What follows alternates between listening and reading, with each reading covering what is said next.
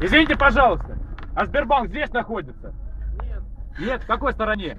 Сбербанка здесь нет вообще. Здесь только магазины. Хорошо, я найду его.